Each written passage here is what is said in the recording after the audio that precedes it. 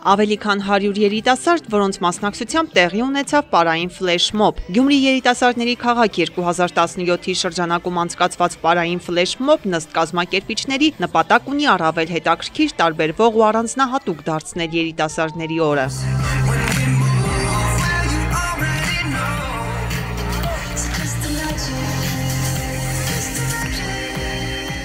Ֆլեշմոբը նկարահանվեց այրոթռչող սարքի միջոցով։ Թատերական հրապարակում պարային ռիթմը չնահանջեց նույնիսկ ժամեր անց։ Ֆլեշմոբին հետևեց բացօթյա համերգը, կենթանի կատարումներ, բարձր տրամադրություն։ Ուրախ եմ, որ Գյումրիում նման տոներ են կազմակերպվում։ Ողջունելի է, որովհետև այս արդեն երկրորդ անգամ է ինչքան գիտեմ, մեր քաղաքում իրականացում այսպես միջոցառում։ Իհարկե շատ լավ է, երիտասարդները այստեղ են ամբողջը եւ ուրախանում են, հաճելի ժամանակ են անցկացնում եւ ես հուսով եմ, որ ելի կշարունակվի այս ծրագիրը։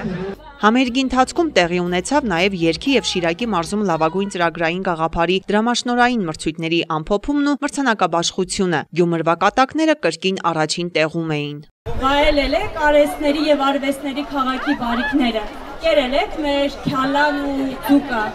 անուշեղնի։ Իսկ մեր անեկդոտների պատը տեսել եք։ Վստահ եմ, որ շատ շուտով գյումրեցիները հպարտանալու եւս մեկ առիթ կունենան, եւ որ կընտրեք շատ շուտով արդեն այդ անեկդոտների պատը կտեսնեք եւ կվայելեք քարմ անեկդոտները։ Իսկ հյուրերին էլ կխնդրեմ, որ մինչև այդ պատը չտեսնեք, հետ չգնանք։ Շնորհավորում եմ եւ Ողջույն Գյումրի,